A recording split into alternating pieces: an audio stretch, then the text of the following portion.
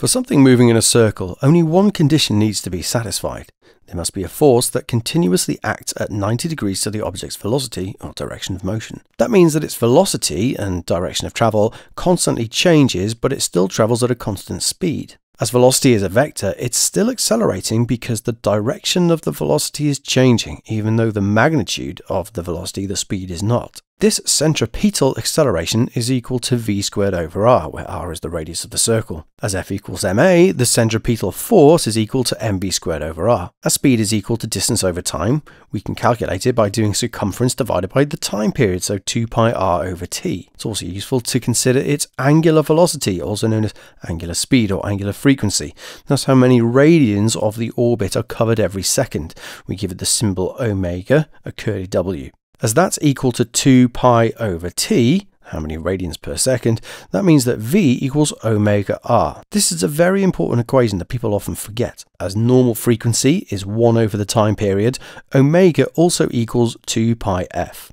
Replacing v in our centripetal acceleration and force equation, with this we end up with the alternative equations a equals omega squared r and f equals m omega squared r. If you're given the time period, you use the omega version and replace the omega with 2 pi over t. If you're given the actual speed though, you use the first equation, a equals v squared over r or f equals mv squared over r. Similar to angular velocity, angular displacement is just how many radians an object has turned through. Like we know from waves, to turn degrees into radians, we divide by 360 to turn into whole circles or whole cycles, then multiply by 2 pi to turn it into radians. If it's a vertical loop, like a loop-to-loop -loop on a roller coaster, you have to take into account the support force or reaction force of the track, we might call that S. At the bottom, mg is pulling down and S is pushing up.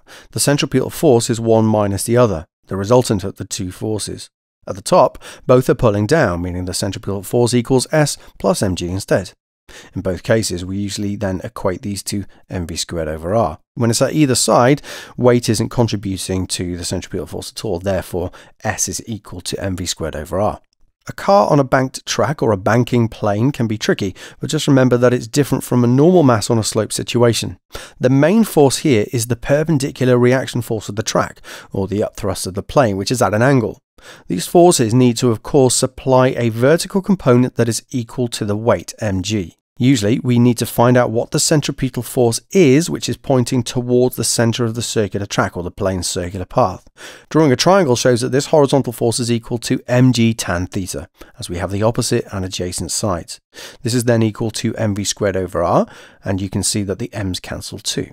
Simple harmonic motion describes any object that is oscillating around a point, like a pendulum or a mass on a spring. There are two conditions. The acceleration must be proportional to the object's displacement from equilibrium, and it must be in the opposite direction to the displacement. What's true for acceleration is also true for the force. It's trying to return the object to equilibrium, hence why we call it the restoring force. The equation A equals minus omega squared x shows both of these conditions. As we know from circular motion, omega is equal to 2 pi f, well 2 pi over t, and x is the displacement from equilibrium in meters. If we use calculus in A-level physics, we derive this from the other equation you'll see in a minute, but as we don't, we can just use it as our jumping off point for SHM. In calculations, we're never really concerned with the minus as we know it's going to change from negative to positive as it oscillates. The maximum acceleration occurs at the maximum displacement, which you know is the amplitude, capital A. So little a max equals omega squared big A. We've just swapped out displacement for amplitude.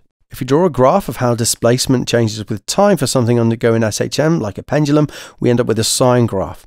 To be clear, it's sine if it starts at zero, cos if it starts at amplitude. Many people don't realize that these are the same thing, just shifted 90 degrees. At any time, the displacement x is equal to a fraction of the amplitude.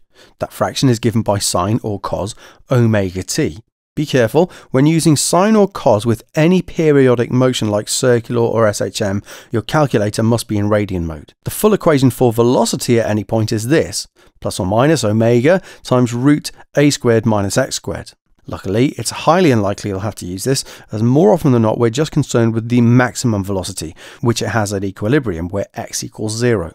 So that means v max equals omega a, or 2 pi fa. This is an important equation because it allows us to find the maximum kinetic energy if we use this speed in half mv squared, and the maximum kinetic energy is equal to the total energy of the system. Going back to our graph quickly, this is essentially distance against time. So if you're asked to find the maximum speed from it, you could draw a tangent at equilibrium and you'll get the maximum gradient. But the far more accurate method is to get the time period and amplitude from the graph, then calculate Vmax equals 2 pi fa, which is the same as 2 pi a over t.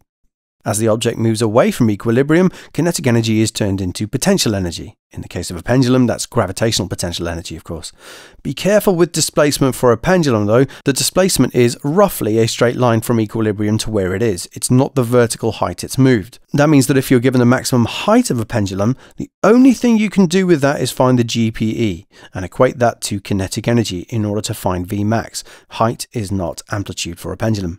You can then find out more about the oscillations using Vmax equals 2 pi Fa. If there is no damping or resonance, and it's a closed system, no energy should be lost to the surroundings, which means the total energy stays the same as kinetic energy and potential energy do their balancing act.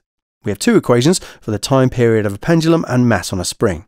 For a pendulum, T is equal to 2 pi root L over G, where L is the length of the string, to be precise from the pivot to the centre of the bob, and G is gravitational field strength. Note that there is no mass in this. It doesn't affect the time period or therefore the frequency either. For a spring, T equals 2 pi root m over k, where k is the spring constant. These equations often crop up in proportionality multiple choice questions, for example. What would happen to the frequency of a pendulum if you doubled the length? Well, the time period would go up by a factor of root 2, which means the frequency would do the opposite. The pendulum equation is a slight approximation, though, as it assumes the motion is along a straight line, which is why if we measure the time for 10 oscillations in an experiment and divide by 10 to get an accurate time period, we must use a small angle, say less than 10 degrees. Use a large angle and the model breaks down. Pendulum's motion isn't circular motion, however, as it passes through equilibrium, it is for a brief moment. This allows us to get Vmax and use that in our circular motion equation, F equals mv squared over r. And that gives us the centripetal force, which is going to be the tension in the string, take away the weight. In reality, there are resistive forces, like air resistance, that oppose the motion of the object moving. It always acts in the opposite direction to the velocity. It's a damping force. It removes energy from the system. If we draw what happens to oscillations over time, we can see that the amplitude decreases gradually. This is what we call light damping. Sometimes you'll see a line that joins the peaks together, which shows us exactly how the amplitude is changing over time. You could be asked to state how much energy is left at a certain time. In that case, just remember that Vmax is proportional to the amplitude and energy is proportional to V squared. So that means that energy is proportional to amplitude squared. So if the amplitude has halved, that means the energy will have quartered. If the resistive force is a lot larger, the object won't even get a chance to oscillate. Its displacement will just gradually decrease. This is like if you grab someone on a swing to let them down slowly. We call this heavy damping or over damping. Critical damping is when the damping force is applied just as the object reaches equilibrium, ensuring that it comes to a stop at equilibrium as quickly as possible. This would be like you grabbing someone on a swing as they reach the bottom. Shock absorbers in car suspension are designed to do this as much as possible, so the wheels move upwards when going over a bump, but go straight back down to where they're supposed to be equilibrium, so the car is affected as little as possible. Resonance is the opposite. It's when an external force is driving the oscillations, increasing the amplitude, adding energy into the system. We say this only happens when a system is lightly damped. Maximum resonance happens when the frequency of the driving force matches the natural or resonant frequency of the system. That's the frequency it would oscillate at without the driving force. The driving force frequency can also be a multiple of the natural frequency, and you'll still get substantial resonance.